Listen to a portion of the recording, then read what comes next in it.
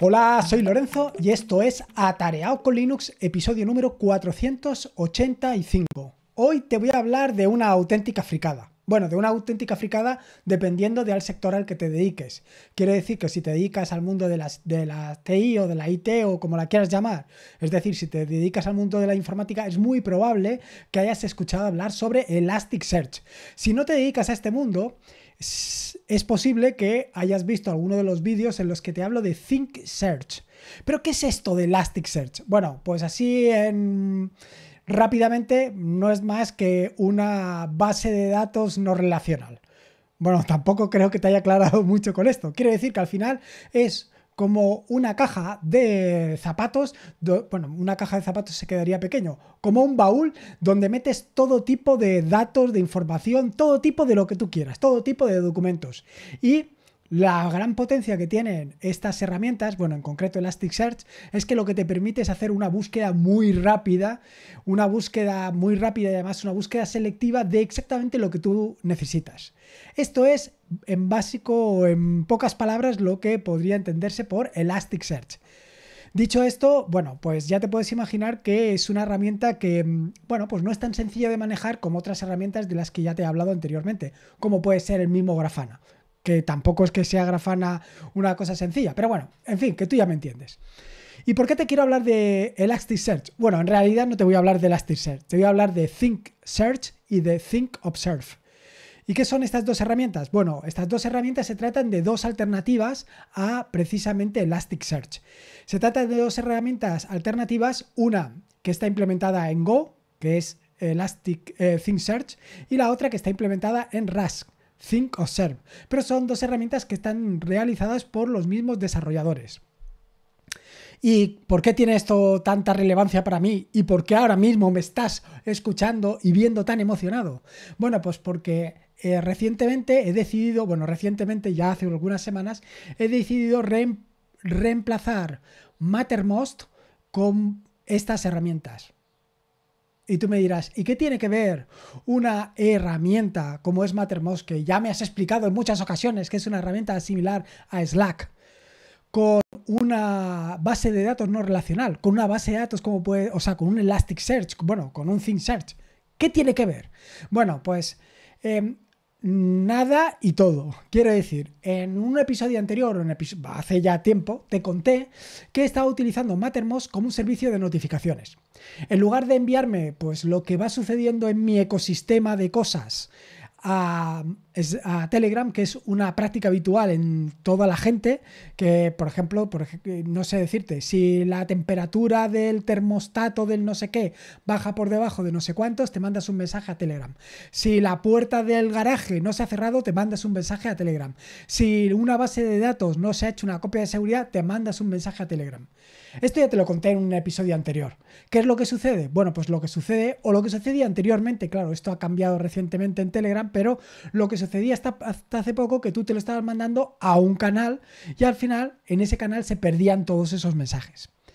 Recientemente, como sabes, Telegram ha reemplazado esto y ahora lo que hace es, en lugar de mandártelo a un canal, eh, ese canal o ese grupo donde te lo podrías mandar lo puedes subdividir y puedes hacer más cosas. Pero como esto lo monté antes, pues no lo tenía. Entonces recurrí a una alternativa que se llama Mattermost. Mattermost es una herramienta de chat muy similar a Slack. Muy similar en el sentido de que está organizado por canales y que funciona de una manera relativamente sencilla y que enviarte mensajes allí, pues bueno, es súper sencillo de hacerlo. Con lo cual, levantarte un contenedor Docker y utilizarlo esto de un sistema de notificación es fantástico porque vas a tener y vas a poder ver allí las notificaciones de una manera muy sencilla. ¿Qué es lo que sucede? Pues lo que sucede es que, por ejemplo, yo tengo una notificación de una herramienta que implementé hace algún tiempo que se llama Den y que publiqué en un podcast anterior que le llamé que le den a Docker, precisamente haciendo ese juego de palabras en un alarde de ingenio que fue más allá de lo normal. Bueno, pues esa herramienta lo que hace es notificarte cada evento que se produce en todos tus contenedores. Es decir, se trata de una herramienta que se conecta al socket de Docker y te va diciendo, se ha caído esto, se ha levantado esto. Vale, hasta ahí más o menos normal, ¿no? Igualmente también tengo notificaciones sobre las distintas copias de seguridad de las bases de datos que estoy utilizando. De manera que cuando, eh, por ejemplo, la base de datos de eh, los WordPress que tengo levantados para los distintos eh, páginas web que tengo, pues cada vez que hago una copia de seguridad me mando un mensaje a ese canal y así sé que la copia de seguridad se ha hecho. Y en caso de que no se haya hecho, pues el, el mensaje pondrá que es defectuoso. Por ahora no ha salido así, pero bueno, Ahí lo tenemos. Total, ¿qué es lo que sucede? Pues lo que sucede es que yo prácticamente eso no lo miro.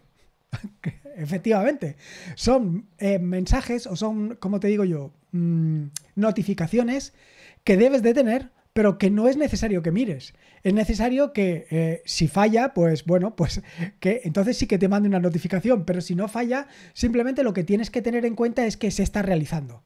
Porque otra de las circunstancias que puede pasar es que esas copias de seguridad no se hagan.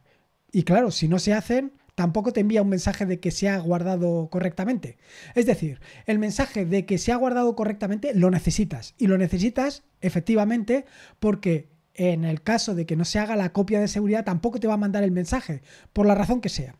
Así que tener un mensaje todos los días de que se ha hecho una copia de seguridad no está de más.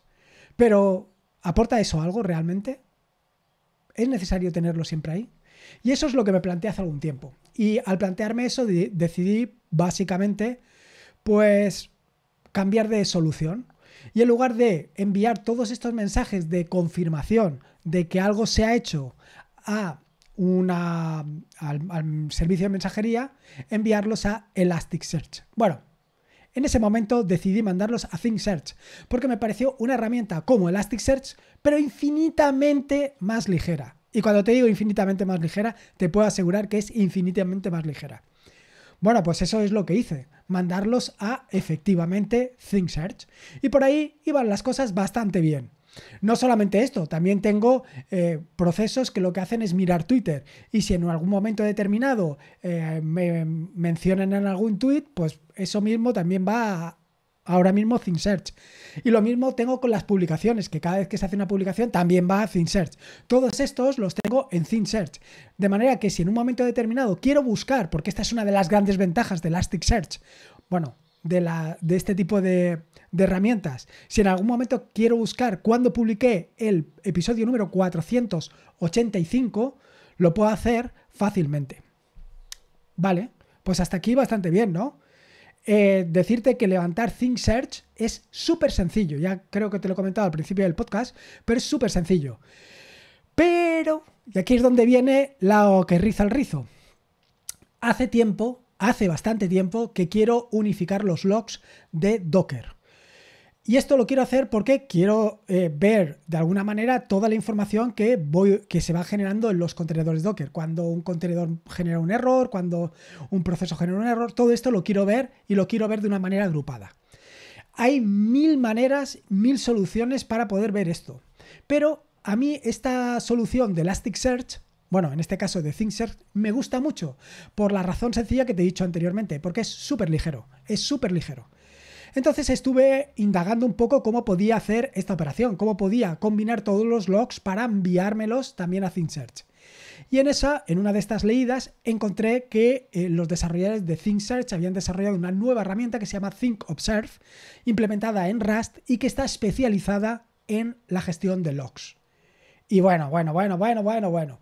Uno de los problemas que tenía con ThinkSearch es que no puedes generar eh, dashboards, no puedes generar tableros aunque yo realmente no lo necesitaba mucho porque con la información que tengo directamente de las búsquedas tenía suficiente. Pero bueno, eh, por pedir que no quede. Bueno, pues ThinkObserve lo tiene también. Y no solamente esto, sino que integrar ThinkObserve con los logs ha sido súper sencillo. Y súper sencillo gracias a una herramienta adicional. Em, para canalizar todos los logs que se producen en em, Docker, he utilizado otra herramienta adicional que se llama Vector. Vector es una herramienta que es capaz de leer todos los logs que se producen en Docker y canalizarlos hacia ThinkObserve. Además, de manera súper sencilla.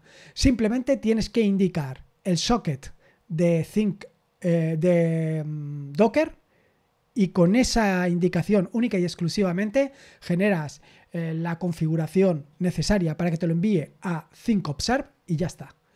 Me ha costado menos Em, hacer esto que todo lo que estaba intentando anteriormente. Mandarlo por syslog, intentar levantar un logstash para hacer... En fin, he hecho todo tipo de combinaciones, pero con esta, tipo, esta combinación ha sido súper sencilla. Tan súper sencilla y tan súper emocionado me encuentro que en breve sacaré un vídeo para el canal para mostrar cómo se hace. Y verás que es súper, súper sencillo. Em, como curiosidad, decirte que esta herramienta ThinkObserve está implementada en Rust, mientras que ThinkSearch está implementada en Go. Es decir, han pasado de Go a Rust. Ahí lo dejo para los amantes de Go y los detractores de Rust. Y por último, otra de las cosas que me ha gustado muchísimo de Think Observe ha sido la posibilidad de consultar los logs, bueno, de consultar cualquier información directamente utilizando SQL. Ya sabes que ThinkSearch, y si no te lo digo, ThinkSearch utiliza diferentes eh, lenguajes como puede ser eh, Lucen o... ¿Cómo se llama el otro? JKL, creo, bueno, no me acuerdo ahora mismo cómo se llama el otro lenguaje, para hacer las, las consultas. Bueno, pues con Cicoser puedes utilizar SQL. O sea que tienes lo mejor de los dos mundos. Y nada más, esto es lo que te quería contar. Esto ha sido muy breve porque quiero profundizar mucho más en todo esto para contártelo con mucho más detalle. Ya te digo, en los próximos, en los próximos días seguro que tienes un vídeo en el canal de YouTube en el que te cuento sobre esto, así que no te lo pierdas. Y poco más, eh, ya sé que da mucha pereza, ya sé que esto es muy doloroso para ti, ya sé que cuesta muchísimo, pero ya te digo que una valoración en Evox, en Apple Podcast o en Spotify me vienen fantásticos para dar a conocer este maravilloso mundo en el que me ando sumergido y para que todo el mundo pueda disfrutar de Linux y del mundo del open source y en concreto, en este caso, del mundo de ThinkObserve. Recordarte que este es un podcast de la red de podcast de sospechosos habituales donde puedes suscribirte en fitpress.me barra sospechosos habituales. Y por último, y como te digo siempre, recordarte que la vida son dos días y uno ya ha pasado. Así que disfruta como si no hubiera mañana y si puede ser con Linux y ThinkObserve, mejor que mejor. Hasta luego.